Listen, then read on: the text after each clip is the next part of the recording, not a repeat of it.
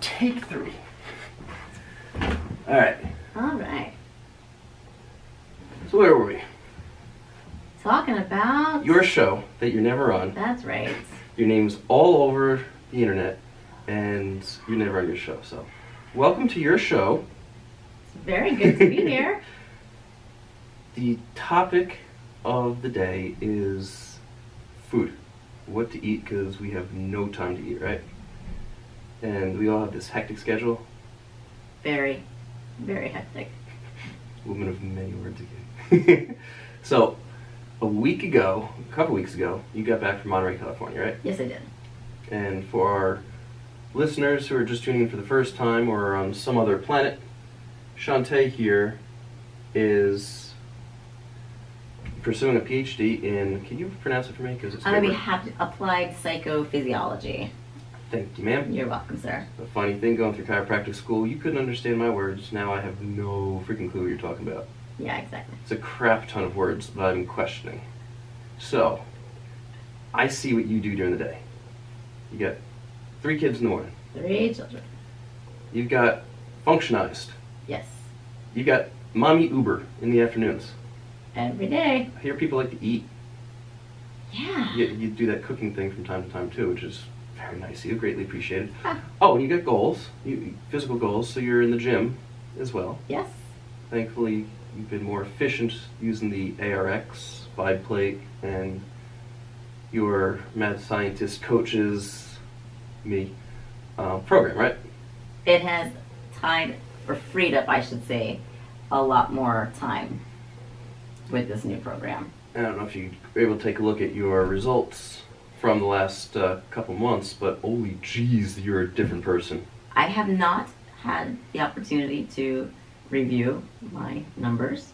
Take a look. I was flabbergasted. I mean, just in what we're doing, you are so much stronger than you have ever been working out in the gym, pushing six days a week. So I feel Nice work. strong. Thank you. I do feel stronger. until we're working together, right? Then you Well, feel, yes. then you feel weak, right? so just let's go on our little tangent like we like to from time to time. All right. When we are training together, do you feel stronger in those sessions, or do you feel weak as anything in those sessions? With the ARX, Mm-hmm. I feel weak as anything in those sessions. So, with you feeling weak in those sessions, um, is it worth feeling that way if you know that objectively you're seeing greater strength gains each and every time? it is. Because there's always room for improvement. It seems like it's a mind screw because you're going to get it, it's difficult, but at the same time, you are improving. And Well, it's, it's tough to actually feel the improvement where, you know, you bench press. You know that you're lifting that heavier plates. You do it one time, congratulations. With the ARX, you've it's a motor that is pulling against you. It's a different workout every week. It might be the same machine, but the output, the input, it's a different workout every week. And some days you feel stronger going into it, and then after round one, it knocks you on your butt, and you're like, holy crap. So for anybody that wants to give it a whirl, come visit us at Functionised, F-U-N-C-T-I-O-N-I-S-E-D dot com. Set up a complimentary appointment and see if working with Coach Jim is right for you. I highly recommend it. Only if you actually want to get somewhere. Because I have actually, believe it or not, don't jump across the table at me here, been turning people down to work with me lately. Um, I say that because not everyone's ready. Not everyone wants to do it. And if you're not ready to put forth the commitment and the effort, then what are we doing? So if you're not ready for it, to make changes in your life that are positive, then I'm not mad at you. When you're ready, you let me know. But if you are ready, it's not necessarily going to be easy all the time, but we'll do it together. Give you give us six months, and I put your money where my mouth is. Give it all back if it doesn't actually work, and it works.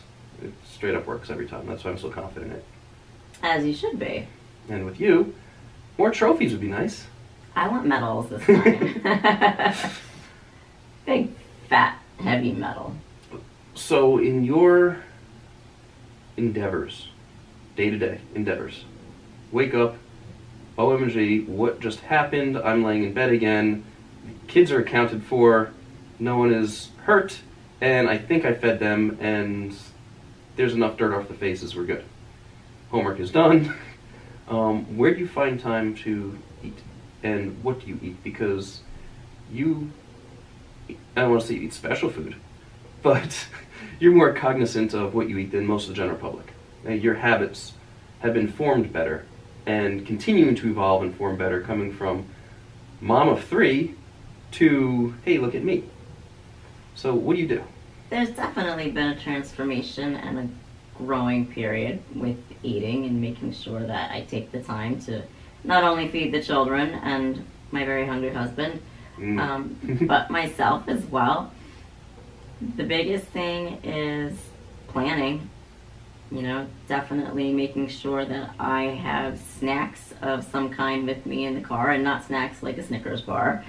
Snacks meaning a bag of raw pecans or almonds that, you know, grab a handful, try to make sure I eat every three hours. Using the My Plate app has definitely been a big help to be, see the breakdown of the foods that I am eating. Mhm. Um, you know, so I might have, uh, and I'm still very much into intermittent fasting. So my first meal of the day is typically between 11 and 1 o'clock. I don't wake up hungry. I need my caffeine. If I don't have my coffee, there's a whole other story. But I'm not hungry when I wake up and just kind of move on from there. So, the reason that so many people wake up hungry, as you're saying, is because at nighttime, individuals will have meals that are high in sugar. They'll have, would be some type of sugary alcohol, they'll have some type of desserts. That's when people typically like to indulge and gorge the most. So, with that, there becomes that, as we've gone over in this podcast so many times, that insulin spike. And when there's a crash, they become hypoglycemic. So in the morning, they need to raise the levels again. So what do they do? They get that hunger pangs and they need to eat. Fortunately for you, you seem to not eat sugar right before you go to bed. Would that be correct? That would be correct. If anything, uh, the other night I had a pretty big serving of brisket before I went to bed. I needed to get those extra proteins and um, and some brain food for working on my research papers. So, as we know, it's not about so much when you eat, unless you are a highly trained Olympic athlete who's looking for the extra tenth of a second. The nutrient timing is really not as big a deal, says the research, in real science versus bro science or gym science. So the idea of eating every three hours has kind of been disproven, but there seems to be a purpose for individuals such as yourself. So why do you like to eat every three hours? Well, it depends on the day, knowing that I have limited amounts of time and need to get in that hour long slow cardio with that weight vest, which I'm just so thrilled about. You're That is- welcome. that is later today, folks, later today. Um, so to be able to have a little bit more in the tank at times, um, just really to help with cognition other times. But really, I think it's just gotten to the habit. So so many people will not eat all day, and they're not intermittent fasting. They're just starving themselves. They've got the coffee, they got the toast, and they're out the door. They come back at night, and they are famished. What do they do? They gorge. What can I eat? What's going to satisfy me the quickest? Let's grab the pasta. Let's grab the breads. There's the cookies. There's the cake. You know, whatever it is. Deny it as they may, that's what happens. It's been found, a lot of individuals such as yourself, it kind of satiates you throughout the day. So at the end of the day, you're not gorging. You are having your last small little meal of what you need to get in for the day, and that's that. Would that kind of be correct, the way you feel? Absolutely. There's no sense of urgency to eat, to cram it all in, you know, and gorge, if you will, to make sure that, you know, I'm not hungry right now. It's just a balanced Mhm. day. So riddle me this: What do you eat? Let's be specific, because I am getting a plethora of individuals, literally direct messaging us, coming into the office and saying, "What do you eat? Where do we get these wonderful special foods from?" I love the, the notion of special foods. so, what do you eat? Give me some examples every couple hours. Take me through a day. I mean, what have you had today, and what are you planning on kind of for the rest of the day, and how's it going to shape up for you? Uh, well, so far today I have had my coffee with unsweetened almond milk creamer. hmm I plan to eat about four pieces of bacon very soon. Free range, of course. Free range bacon. I love bacon. Uh, bacon is something you can kind of, if it's prepared already ahead of time, you can kind of take that with you in a box, can't you? I absolutely do sometimes take it in a box with me. Thank you very I see the box right there. If I get home from the gym, I Ah, just for our will typically. viewers. let's- There we go. Bacon in a box. I love scrambled eggs with cheese. I throw a little bit of heavy creamer in just to get some extra fats in there. That, that's one of my go-tos is scrambled eggs with cheese. Uh, every now and I love throwing some spinach in there as well. Hard-boiled eggs, can't go wrong with those. You boil them on a Sunday, you're good for the week. We've done that plenty of times. Boil them, dry them off, fill them up into the carton again, label it, Yes. so you're not uh, making scrambled eggs and get something wrong, or vice versa. Yes, yes, labeling is key. Mm-hmm. String cheese, whole milk string cheese. You know, it's a quick, easy snack that I can take with me anywhere I go. Nuts, love pecans, love walnuts, Mm-hmm. almonds. Those are usually some of my go-to snacks. Sounds phenomenal. It is. So, what other types of go-to snacks have you had? I mean, you talk about different nuts that you'll have throughout the day. Um, bars from time to time. I do enjoy the Quest bars. Mm-hmm. Um, I will eat them maybe once to two times a week. The white chocolate raspberry and the oatmeal chocolate chip happen to be my favorites, Gotta find what you like. but they have amazing flavors, um, and they do leave you quite satisfied. The protein cookies, those are nice at night if you need a little bit extra and you've got that sweet tooth that you just can't get rid of. And I've noticed the bars and the cookies by Quest. The nutrient breakdown is like the same, so it's pretty much seems like they're taking the same mold and just cooking it differently at the end of the day. How would you like to eat it? Right. Put the cookie in the microwave for 10 15 seconds. it does help. I think isn't that when we took a uh, photo of you with the Halo Top ice cream?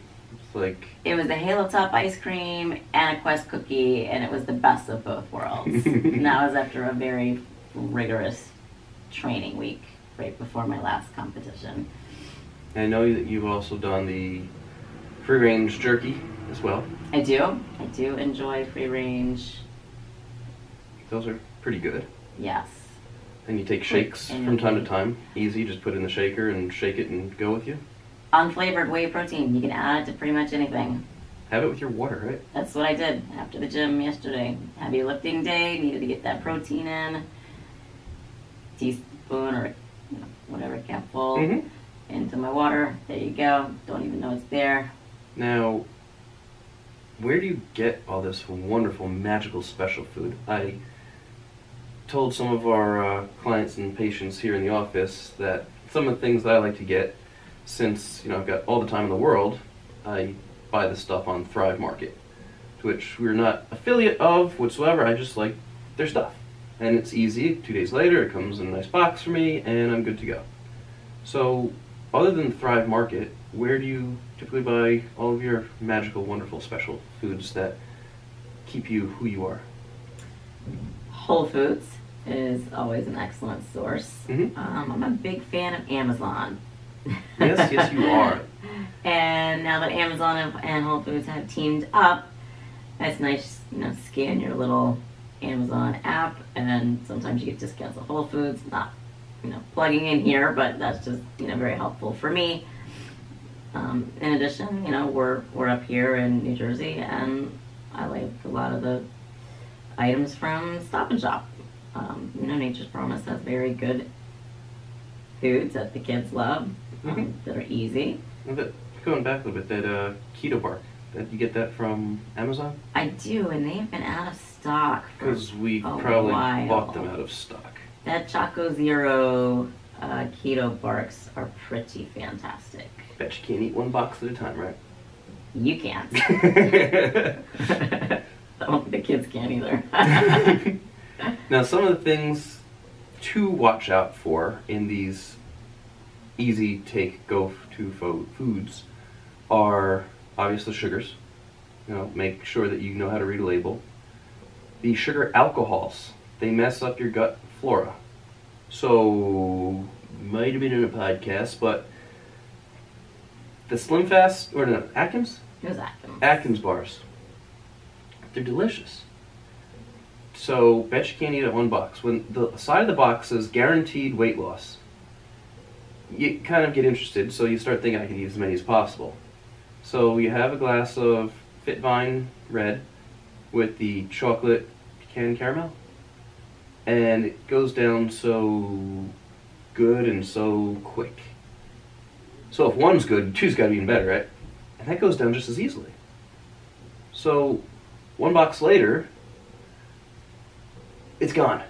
So, you know, the calories do add up, and you may be sleeping alone that night too. Just know that there. Watch out for the sugar alcohols.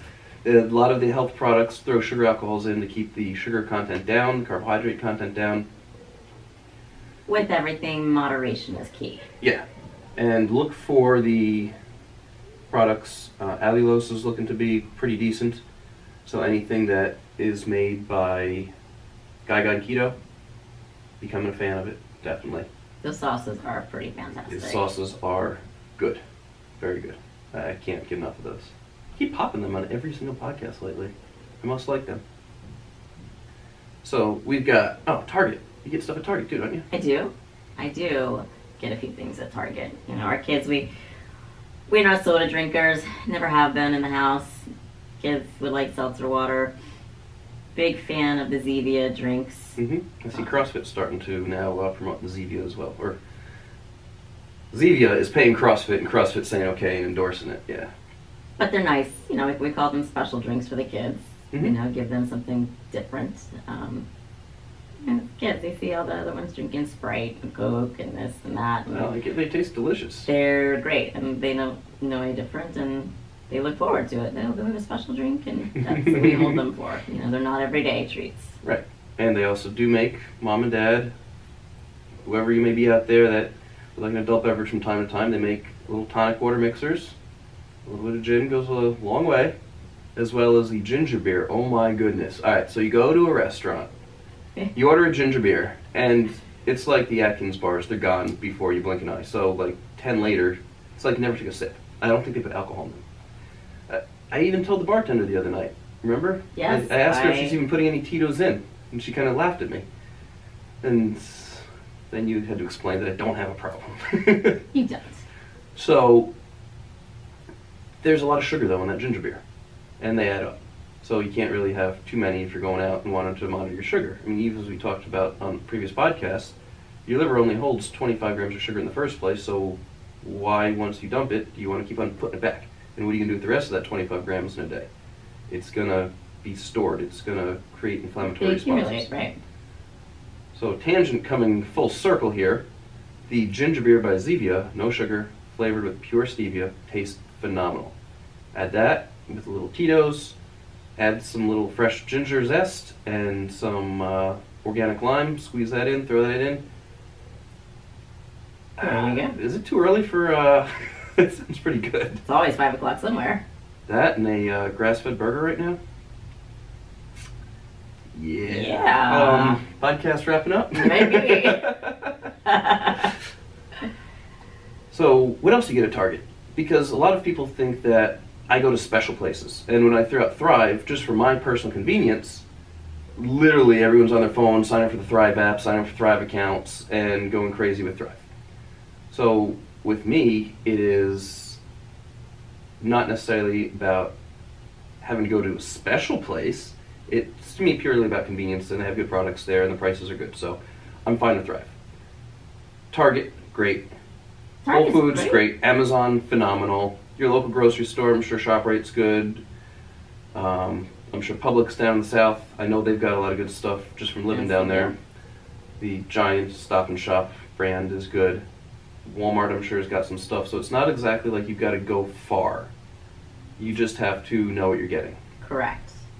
And in what you're getting would have to be sticking to the basics, the simple stuff, right? Uh, nuts, Nuts. Limited amount of fruits, but get, Two servings a day, berries. a day. You know, go with the darker fruits. Your Nut. green leafy vegetables. nut butters. If you're fine with dairy, the organic cheese sticks are great to take with you. Certain bars, Quest is fine. Um,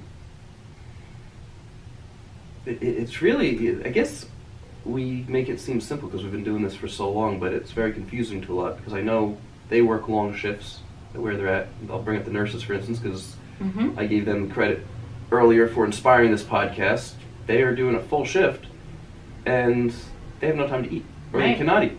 Kids in school, they cannot eat. They get scolded, have not having eaten for six hours, and they get scolded for trying to have a handful of nuts Right. in class. Well, and, and in today's society, pretty much can't bring nuts to a school anymore. Right. So if the kids like a bar, then they can have a Quest bar of their favorite type and have it between class. You know, I remember I was not allowed to do that back in high school, and I had cross country meet right afterward. Before understanding ketogenic lifestyle, I thought you had to carb up, and so it pretty much came to the point where my math teacher, final period, realized Jim is a good boy. He's not a troublemaker. He has a cross country meet in an hour from now. He hasn't eaten since 10 o'clock this morning, which was when my lunch was on those cross country meet days. I'm going to let him eat that power bar in class and drink the Ultra Fuel. so, sure enough, I would. I'd have the mixed berry power bar, a big old giant orange Ultra Fuel. And off you went. It's a good thing those days were nine miles three to warm up, three for the race, three to cool down because all those carbs and sugar I was eating, oh my goodness. You know, if I had an endurance race today, it would definitely be going with some uh, exogenous ketones Mm-hmm. some water, uh, some amino acids, and Don't skip out on the water. Yeah.